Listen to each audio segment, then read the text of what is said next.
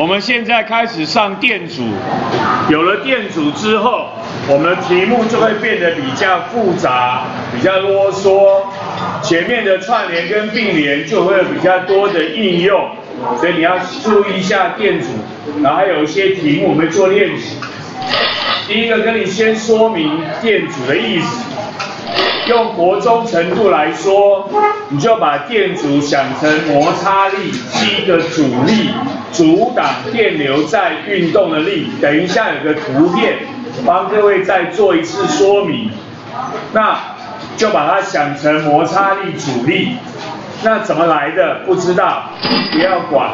它跟一些结构啊什么之类有关系，这比较复杂。我们国中生不处理，我们只要知道说。正常情况，电流在流动的时候，都会碰到一个阻力，我们称之为所谓的电阻就可以了。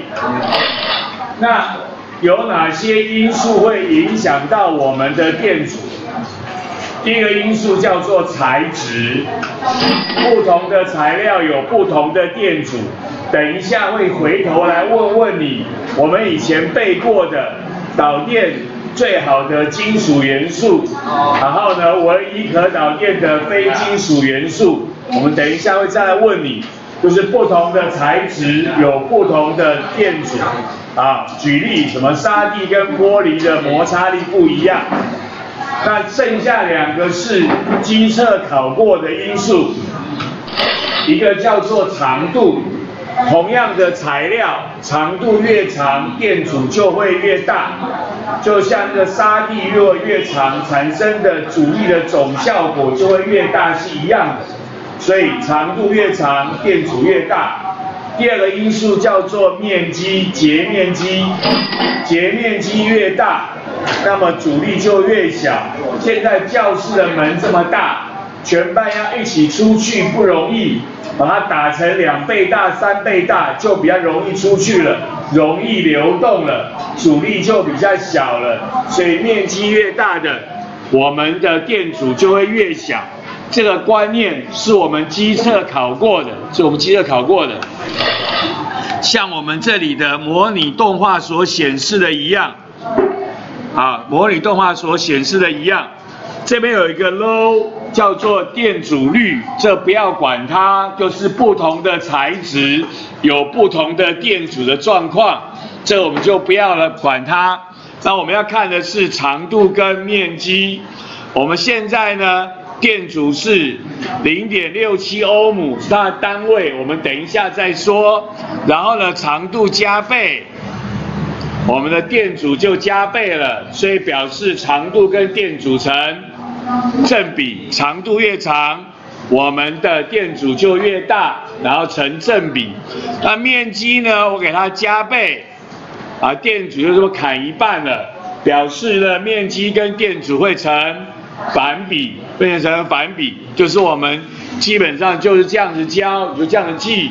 长度跟电阻成正比，面积跟电阻成反比，所以呢，我们就看到长度如果越长，电阻就会越大；面积如果越大，电阻就会越小。反之就是面积越小，电阻越大；长度越短，电阻就越小，一样的意思。OK，这就是我们的跟各位讲我们的影响的变音。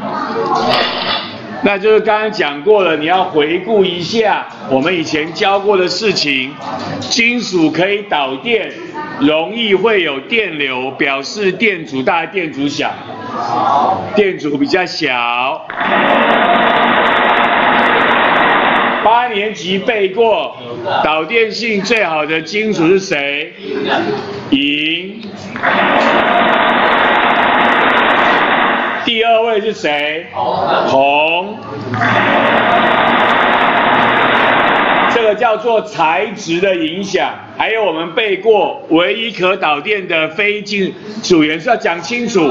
石墨。石墨不可以写碳，碳有很多种，会导电是石墨。会导电的碳不止石墨，但是国中只有教石墨，我们就记石墨就好了。所以这是我们古时候学过的材质的影响。机测考过的是长度跟面积的影响。那我们的电阻比喻做阻力摩擦力挡住它。我有一个电池提供了一个电压，有个电位差，然后去通过一个电阻的时候，就会消耗我的能量，就会降低我的电位差，消耗的能量就会通常转成热能，就是我们以后要教的电流的热效应。所以。电池给我电位差，提供我电压，经过一个电阻或所谓的灯泡之后，我的电位差就会下降，电位就会下降，因为我的能量会损耗，我的电位能会损耗，这就是我们跟各位简单的说明一下。那么电压是一个推动的力量，等一下有图片说明。